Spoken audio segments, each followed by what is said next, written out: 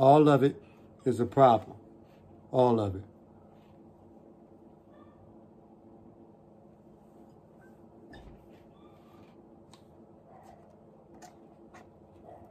it.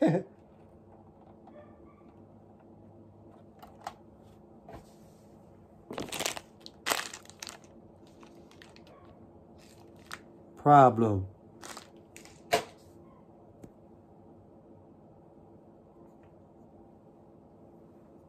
All of it.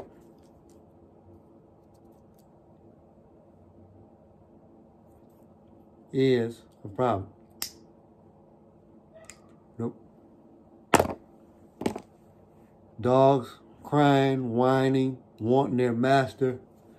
All of it is a problem relationships with humans, the relationship in connection with God, problems in school, kids don't act right, teachers are having problems with the kids.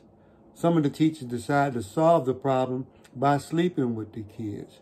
There's a lot of problems. All of it is a problem. People have problems with their breathing. There's trouble with their knees hurting. There's obesity. There's duplexicity.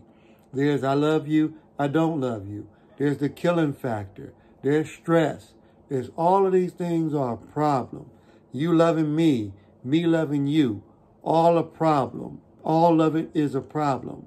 None of it is a solution. All of it is a problem. So if you have a solution and don't just use the words I hope and I wish, this is not a Michael Jackson song where we're going to hold hands. This is not what Dr. Martin Luther King Jr. is looking at as a result of the way things are. There was a different plan and prospect uh, in, in intentions then. This is different. All of this is a problem. All of it.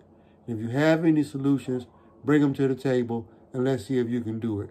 Relationships don't work. That's a problem. And the reason why relationships don't work is because of the people. The concept, folks, yes, I agree.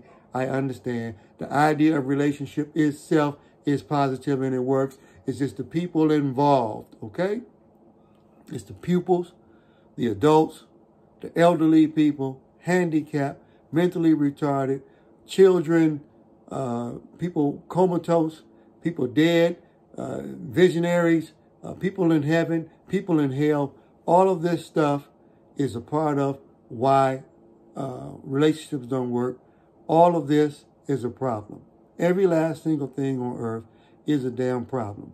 So the only positive things is things you can create inside of your mind and you need to keep them to your damn self. Because if you share that information with somebody else, they are not going to cheer for you. They're not going to salute you. They're not going to be thankful nor happy with what you're saying or what you're doing.